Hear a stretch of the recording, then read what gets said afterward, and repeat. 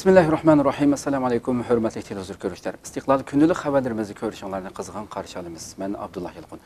Proqramımızda vətənimiz Şərq Türkistan və dünya gün tərtibində olub atqan mühim xəbərləri huzurunuza sunuşdurışımız. Qanamızda qıtınlar ekranımızda olsun. Amerika Tayvanga zo'r miqdorda qurol-yarog' setib berish qarorini tasdiqladi. Amerika ovozining xabarida bildirilishicha amerika hukumati tayvanga eng yangi qurol setib berish qarorini tasdiqlagan bo'lib buning rayondagi harbiy tangpongliq va siyosiy muqimlikni saqlashga foydali ekanligi bildirilgan. Amerika tashqi ishlar ministrligi 4 avgust tayvanning amerikada turishliq iqtisod va madaniyat vakolatxonasining talabiga asosan tayvanga 40 yurish paladin nomli o'ttiri tipliq zambirak va uning aslahalarini setib berishni tasdiqlagan bo'lib qimmati taxminan 750 million dollarga yetadi ekan. Amerika davlat mudofaa bexatarligi hamkorlik idorasining uqtirishida bu qitimliq qurol yarog' savdosining amerika qonuniga uyg'un ekanligini bu qurol yaroqlarning tayvanning harbiy iqtidorini zamonaviylashtirishga va mudofaa iqtidorini oshirishga shundoqla rayonning siyosiy muqimligi harbiy tangpongliqni saqlashga yordami bo'ladiganligi qayd qilingan. Amerika tayvan kengashi 4 avgust bayonot e'lon qilib amerika hukumatining bu qarorini qarshi bu bayden hukumatining tunji qatim tayvanga qurol yarog' setib berishi bo'lib hisoblanadiganligini buning amerika bilan tayvan o'tirisidagi davlat bexatarligi hamkorligini namoyon qiladiganligini bildirgan. Xitoy tashqi ishlar ministrligi bugun amerikaga norozilik bayonoti e'lon qilib bu qurol yarog' savdosining xitoyning ichki ishiga aralashganlik bo'lib hisoblanadiganligini amerikaning bu qaroridan yenishi kerakligini va vaziyatga qarab tadbir qo'llanadiganligini bildirgan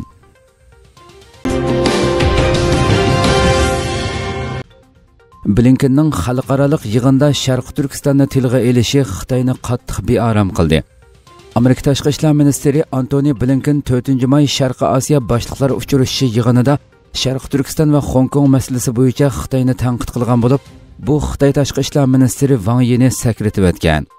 Blinken tunugun sharq janubiy osiyo ittifoqining riyosatchiligida o'tkazilgan 11 navbatlik sharq osiyo boshliqlar uchrashishi tashqi ishlar ministrlari yig'iniga qatnashgan bo'lib yig'inda xitoy rejimining sharqi turkistonda va xong kongda kishilik huquqni dafsanda qilib xalqaro qonunga xiloflik qilganligi haqida to'xtalgan. Bunodan qattiq bearim bo'lgan vang yi so'z qilish navbatini tugatgan bo'lsimi qaytadan so'z qilishni talab qilib blinkenning so'zlariga norozilik bildirgan. U so'zida amerika qatorliq bir qism davlatlarning bu xalqaroliq munbardan foydalanib xitoyga hujum qilib qora choplaganligini sharqi turkiston va xong kong masalasining xitoyning ichki ishi ekanligini da'vo qilgan. Amerika tashqi ishlar ministrligining amaldorlari bu haqda to'xtalib blinkinning sharqi turkiston va xong kongdagi kishilik huquq dafsandichiligini tilga ilishi orqali sharqi janubiy osiyo davlatlariga amerikaning mazkur davlatlar bilan o'rtaq qimmat qarashga ega ekanligini namoyon qilmoqchi bo'lganligini bildirishgan. Amerika yaqinqi mezgillarda sharqi janubiy osiyo davlatlari bilan bo'lgan hamkorlikni kuchaytirishga tirishayotgan bo'lib xitoy tarafmi buningga qarshi sharqi janubiy osiyodagi ta'sirini kuchaytirishga urinmoqda.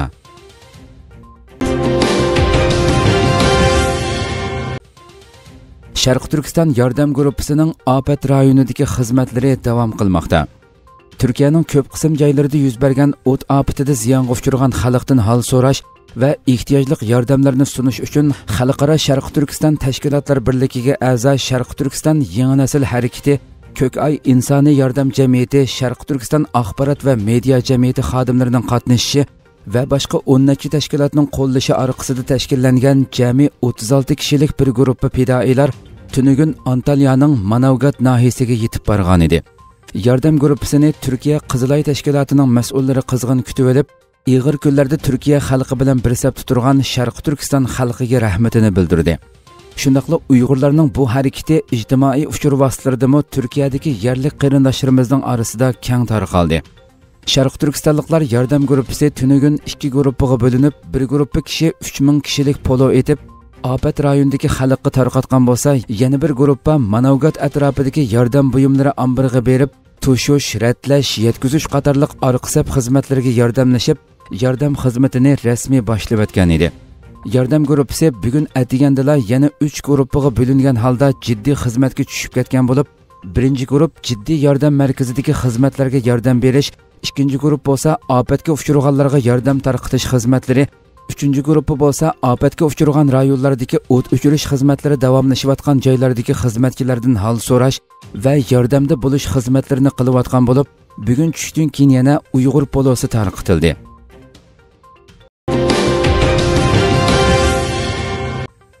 Xitoy tibat harbiy rayoni bosh qo'mondonini sharq turkistonga yo'tkidi.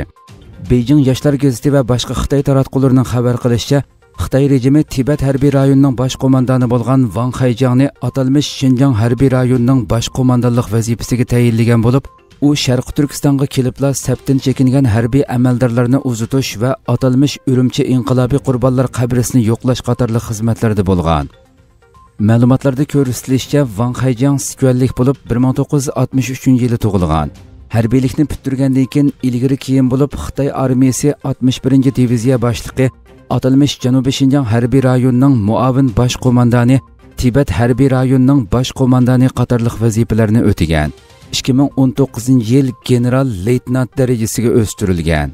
Van hayjangning navbatdagidek sazgur vaziyatda atalmish shinjang harbiy rayonining bosh qo'mondonligiga tayinlanishi күзәткүчеләрнең диккәтен козган булып, улар Хытай режимының 2016 ел Тибет парткомының секретары Чин Вангоны Шарқ Түркстанга йөткәп килеп, бүген дөнья шаһит булып аткан ирқи кыргынчылык җинаятын йөргизгән булса, бу кытым Хытай генералы Ван Хайжаңны йөткәш аркылы бу җинаятькә иге чыгыш ва баргансыры күчәйеп аткан халыкара бесимне тәһдид дип карап, Шарқ Түркстанның хәрби контрольлыгын техимы чиң тутышны максат кылып аткан булышы мөмкин дип кармакта. Amerika musofirlarning diqqatini turkiyani o'z ichiga olgan har qanday bir davlatga burmaganligini bildirdi.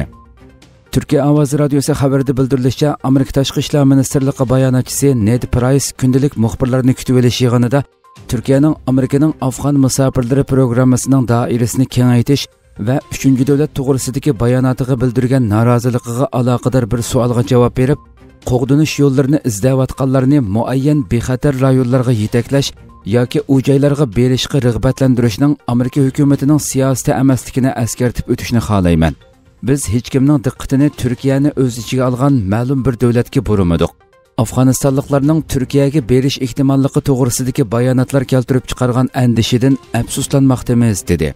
Ned prays yana suriya iroq afg'oniston eron va boshqa davlatlardan kelgan 4 milliondan ortiq musofirni kutib olgan turkiyadan minnatdor ekanliklarini ta'kidlab o'tdi turkiya prezidentlik mahkamasi uchur aloqa ishlari idorasining boshlig'i fahriddin altun amerikaning bir qism afg'onlarning turkiyanimi o'z ichiga olgan uchinchi davlatlar orqali amerikaga ko'chman bo'lish uchun iltimos sunsi bo'ladiganligiga aloqador bayonotiga norozilik bildirib turkiya hech kimning kutish soli emas buningdan keyinmi hargiz undoq bo'lmaydi amerika tashqi ishlar ministrligining vashington tarafidan mablag' bilan ta'minlangan loyihalar ham tashkilotlarda bir qism afg'oniston fuqarolarini үшінші дәүләтләргә беріп Америкадан панахлык тілеш чакырыгыдан толымы әфсусланып атабыз һәм қаттық әндіші кылып атабыз деген еді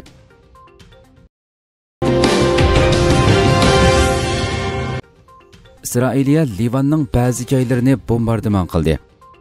Израилия армиясы Ливанның жанубыдагы бәзи жайларын һавадан бомбардыман қылды. Түркия Авазы радиосы хәбәрдә белдерүлешчә, Израилия армиясы Twitter'да баянат элан қылып, isroiliya urush aeroplanlarining 4 avgust livandan isroiliyaga raketamyot etilgan joylar bilan terrorlik maqsadida ishlatilayotgan tonnellarning bombardimon qilinganligini uqtirgan.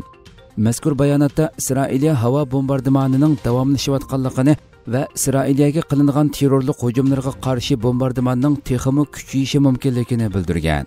Livan yerlik taratqulardagi xabarlarda isroiliya urush aeroplanlarining janubdagi addimashqiya rayonini ikki qatim havodan bombardimon qilganligi qayd qilingan isroiliya armiyasi tunugun livandan uch raketamyot etilganligini bulardan ikkisining isroiliya ziminiga birining livan ziminiga tushganligini e'lon qilgan edi buningga javoban isroiliya armiyasining livan tarafga zambirak otganligi bildirilgan edi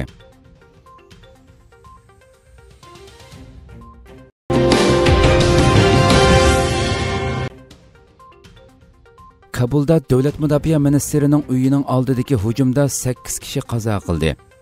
Afg'oniston davlat mudofaa ministri bismillah muhammadiyning kabulning shirpur rayoniga joylashgan uyining oldida tunugun kech taraflarda yuz bergan bomba va qurolli hujumda 8 kishi hayotidan ayrildi afg'oniston ichki ishlar ministrligi bayonotchisi mervis stanikzi bu haqda e'lon qilgan bayonotida zo'ravonlardan birining bomba qochilangan avtomobilni afg'oniston davlat mudofaa ministri bismillah muhammadiyning uyining oldida portlatganligini portlashdan keyin boshqa to'rt zo'ravonning uyiga bostirib kirib qalaymaqon o'q chiqarishga boshlaganligini aytdi Станексе зоравалларының жерім кечеді бір тарап қылынғалықыны білдіріп, ұжымды 8 кішінің жендін айырлығалықыны, 20 кішінің ярланығалықыны, райондекі өйлерді яшаватқан оларчы пұқыраның бейхатар жайғы тарқақлаштырылғалықыны әскер білен бір вақытта, ұжымды дөлет мұдапия мәністері Бисмиллах Мұхаммадиінің вә айлісінің сиянғы ұфчырмағалықыны тәкіледі. Шахидлар болса, санының 10-дің сүрді. Hujumning javobgarligini texchi hech kim o'z ustiga olmadi igilishicha kabulning eng hashamatli rayonlaridan biri bo'lgan shirpur rayonida nurg'un ministr va parlament a'zolarining uyi bor bo'lib bombaning shiddatli portlashi natijasida davlat mudofaa ministri bismillah muhammadiyning uyining atrofidagi ko'p sondagi uy va ish o'rnimi ziyonga uchragan bomba hujumidan keyin kabulda ko'p sonda puhra terrorlik hujumiga qarshi norozilik namoyishi o'tkazgan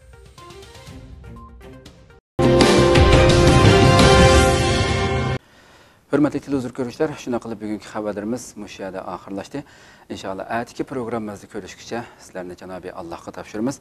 Shunday qilib programma oxirida ekran orqasidagi barliq xizmatdoshlarimga ko'pdan ko'p rahmat aytaman. Assalomu alaykum va rahmatulloh.